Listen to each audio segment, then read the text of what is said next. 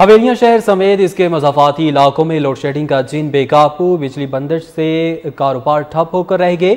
بجلی load shedding کے باعث کاروباری حضرات فاقہ کشی پر مجبور۔ اہلیانہ علاقہ نے لوڈ شیڈنگ کے خاتمے کے لیے فوری طور پر مطالبہ کیا ہے۔ حویلیاں سے قاسم اعجاز کی یہ رپورٹ دیکھیے۔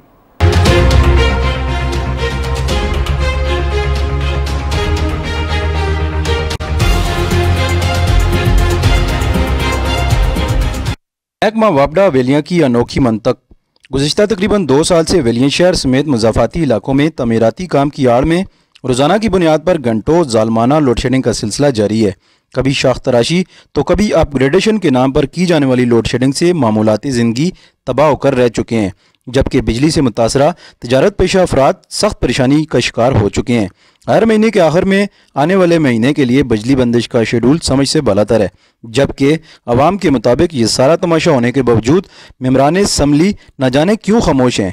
ظلمانہ لوڈ شیڈنگ اور باری بلوں سے متعلق عوام نے کے ٹو ٹی وی کو بتایا کہ ہر تیس تاریخ کے بعد پندرہ سولہ سترہ دن کا شیڈول آ جاتا ہے۔ جی لائٹ نہیں ہے اور بل اسی طرح آ رہے ہیں۔ یہ آپ دیکھ سکتے ہیں ہماری دکان جس طرح وہ تاریخ کی ہوئی ہے، اس میں کوئی کسٹمر اندر آنے کی وہ ضرورت بھی نہیں کر رہا، نہ ہی اس کو کچھ نظر آ رہا ہے۔ جب وہ اندر آتا ہے، اس کو کیا دکھائیں گے آپ؟ تو میرا اعلیٰ کام سے یہی ریکویسٹ ہے کہ خدا رہا، اس بجلی والوں کو، واپڈا والوں کو کسی روشنی اور راہ پہ ڈالیں کہ کم از کم یہ ہمارا کاروباری طبقہ جتنا بھی ہے، یہ تو دبا ہو رہا ہے۔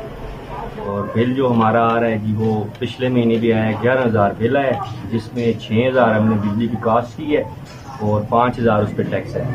تو اس کے علاوہ بھی آپ دیکھیں تو لائٹ پورا پورا مہینہ جو ہے، دس سے پندرہ بیس دن جو ہے وہ بلا بتائے کوئی شیڈول نہیں ہوتا۔ جب شیڈول بھی ہوتا ہے تو اس میں بھی وہ اعداد جھجک کو لے کے جاتے ہیں۔ ہم لوگ اس سے بہت زیادہ پریشان ہیں۔ بل بہت زیادہ آ رہے ہیں۔ کاروبار جو ہیں وہ بالکل ہے ہی نہیں ہے۔ اوپر سے ہمارے اوپر یہ برڈن ہے بجلی کا بہت زیادہ۔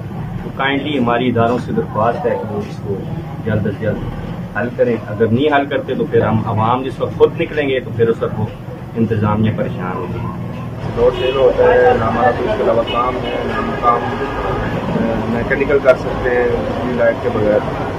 تو اس لیے ہمارا جو کاروبار ہے بالکل زیرو ہو چکا ہے۔ جی، میں جو کام کرتا ہوں، بجلی کی وجہ سے ہم بڑے پریشان ہیں۔